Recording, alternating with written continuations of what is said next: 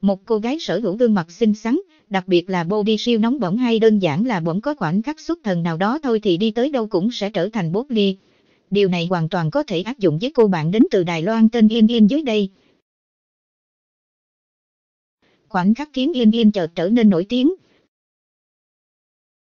Trong một lần đi binh trong siêu thị, khoảnh khắc Yên Yên cúi đầu lựa đồ đã lọt vào ống kính của một người đi đường. Đáng chú ý là dù cúi mặt, tóc che lòi xòa nhưng sống mũi cao thẳng, làn da trắng sứ, nói chung mọi đường nét trên gương mặt vẫn chứng minh cô nàng sở hữu ngoại hình rất xuất sắc. Đó là chưa kể đến việc, vì cúi thấp chọn đồ, dòng một của cô nàng lấp ló trong cũng cực kỳ hút mắt. Chính bởi vậy, sau khi hình ảnh về Yên Yên được đăng tải, cư dân mạng sẽ chẳng thể bình tĩnh nổi mà phải lao ngay vào công cuộc truy lùng danh tính của di sinh quyến rũ mới.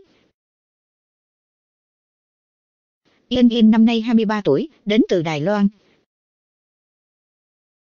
Được biết, cô nàng có tên là Yên Yên, sinh năm 1996, hiện đang sinh sống và làm việc tại Đài Loan.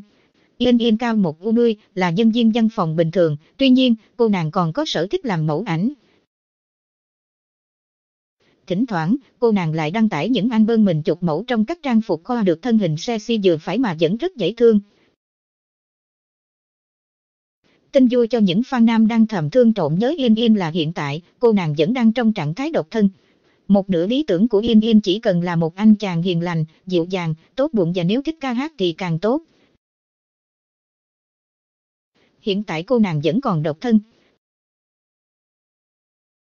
Cùng ngắm thêm một vài hình ảnh của cô nàng này nhé.